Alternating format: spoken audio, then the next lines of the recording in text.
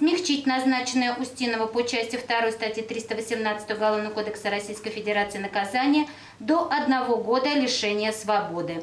На основании статьи 73 Уголовного кодекса Российской Федерации считать назначенное наказание условным. Год условно, еще два на испытательном сроке. Московский городской суд изменил приговор Павлу Устинову, осужденному за применение насилия к представителю власти на протестной акции 3 августа в Москве. О смягчении приговора просила прокуратура вследствие чрезмерной суровости решения Тверского суда, где Устинову назначили три с половиной года лишения свободы. По словам представительницы ведомства, не были учтены положительные характеристики Устинова с учебы, работы и военной службы. Хотя обвинение ранее само требовало 6 лет колонии. С решением суда мы не согласны. В любом случае мы его будем обжаловать. Преступление я не совершал. В любом случае я никаких противоправных действий не делал.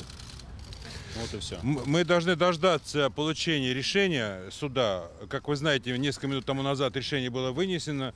По решению апелляционной инстанции э, а, приговор остался обвинительным. э, один год условно. Э, когда мы получим э, решение, мы его изучим, и дальше уже Павел позицию высказал, что он будет дальше обжаловать уже в кассационном порядке. В суде выступил потерпевший росгвардеец Лягин. Он повторно заявил, что слышал с сослуживцами оскорбительные лозунги, которые якобы выкрикивал Устинов. Добавил, что осужденный, цитата, стоял в телефоне. Мало ли какие там действия он мог координировать. Поэтому и было принято решение его задержать. Адвокаты настаивали. На видео не слышно, чтобы Устинов выкрикивал какие-либо лозунги. А следствие не представило доказательств того, что именно Устинов и именно Лягину повредил руку. Задержавшие Устинова росгвардейцы были в масках и без личных жетонов.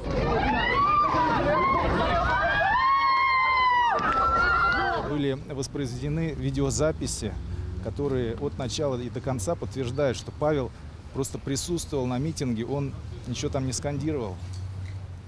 То есть э, оснований для задержания не было. Родственники Устинова не сомневались, что после массовой кампании в его защиту решение Мосгорсуда будет иным. Но надеялись на полное оправдание. Обвинительный приговор они считают несправедливым. По-другому пока не могло и быть. И вы все это знаете. О чем мы будем вот сейчас рассуждать, да? Э, Вот придет, если такое время, то все узнают, что немножко правды осталось у нас. Не придет, значит, будем жить с неправдой. Человек невиновный, он не должен ходить с каким-то условным сроком и с, испытательным сроком. То есть получается, что они все равно признают его вину, а вины его нету.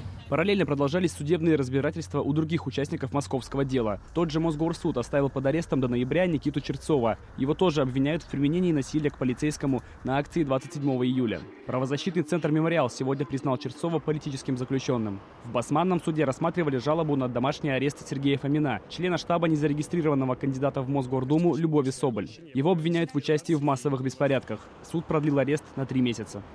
Иван Воронин, Алексей Зыков. Радио «Свобода», Москва.